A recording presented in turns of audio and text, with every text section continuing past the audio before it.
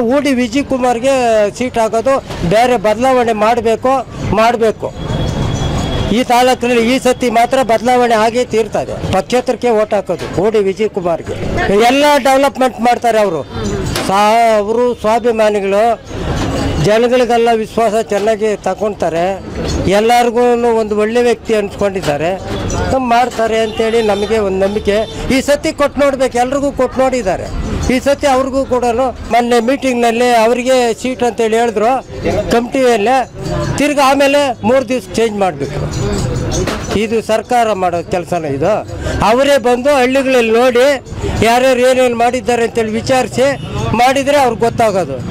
ಅಲ್ಲಿ high command high command ಅಂತ ಹೇಳ್ತಾರೆ. ಇಲ್ಲೋರು ಹೇಳಿದ ತಲೆ ಅವ್ರಿಗೆ ಹೈಕಮಾಂಡ್ ಗೊತ್ತಾಗೋದು. ಅವರು ಎಲ್ಲ ತಾಲೂಕಿನಲ್ಲಿ ಎಲ್ಲ ತಿರುಗಿ ರಕ್ತದಾನ ಶಿಬಿರ ಮಾಡಿದ್ದಾರೆ. ಎಲ್ಲ ಕೊರೋನಾ ಪೀರಿಯಡ್ನಲ್ಲಿ ಎಲ್ಲ ಕಿಟ್ಗಳು ಕೊಟ್ಟಿದ್ದಾರೆ.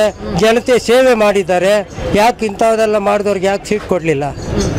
ಅದಕ್ಕೆ ಇವಾಗ ಪಕ್ಷೇತರವಾಗಿ ನಿಂತಿದ್ದಾರೆ. ಅವರಿಗೆ ಓಟ್ ಹಾಕೋದು.